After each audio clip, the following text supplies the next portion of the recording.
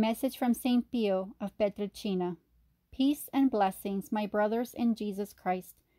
I communicate again with you, flock of the Lord, bringing you the peace of the good God. Brothers in Christ, ask for my humble intercession when you feel attacked by the enemy of your soul. For by grace and mercy of God, I am also spiritually in this world among you. Have recourse to me, my brothers, when you feel sick in body or soul. My humble intercession is heard by the good God who never ignores the supplication I make to him in favor of all my devotees. When you feel sick in body or soul, say, Eternal Father, through the intercession of your beloved servant, Padre Pio Pietrelcina, I humbly ask you to grant me the grace to be free from every spirit of darkness that disturbs my soul and my peace, from every spirit of sickness that afflicts my body, especially and then you say your intention. O Father of mercy, I ask this through the merits of the holy stigmata of the Passion of your Son, which your servant Padre Pio de Pietrelcina has borne wholly in life. May everything be for your glory. Then pray the Creed, and Our Father, a Hail Mary, and glory to the Father.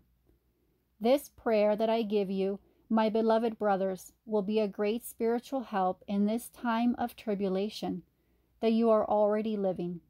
Do it with faith and in the grace of God when you feel sick in body or soul. I assure you that you will not be disappointed. Brothers in Christ, all blessed souls, we accompany you in your passage through the desert of purification. We have been given the grace to heal, to liberate, and to work miracles in the people of God, if your free will allows us. Do not be afraid. We are here to serve and protect you. It is our honor to be able to do so. I am one of many blessed souls who will be with you. Invoke my company at all times, especially when you pray the Holy Rosary. Remember that when I was in this world, I did not let go of my rosary, always asking for the salvation of sinners for priestly vocations, for the propagation of the Rosary, for peace, for the Church, for the sick, and for the conversion of the whole world. I have been the promoter of canticles of prayer, spreading the prayer of the Holy Rosary throughout the world.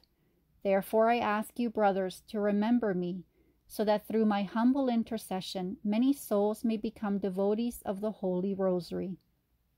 Do not forget that the prayer of the Holy Rosary is the most powerful spiritual weapon that heaven has given you to defeat the devil and his armies of evil. Bring your rosary with you and pray it. Do not let it go, for it is a powerful armor with which you will have the protection and intercession of Our Lady and my humble intercession if you heed me. Remain, brothers, in the peace of the good Lord. Your brother in Christ, Padre Pio de Pietrelcina. Make these messages of salvation known to all humanity, my beloved brothers. Amen.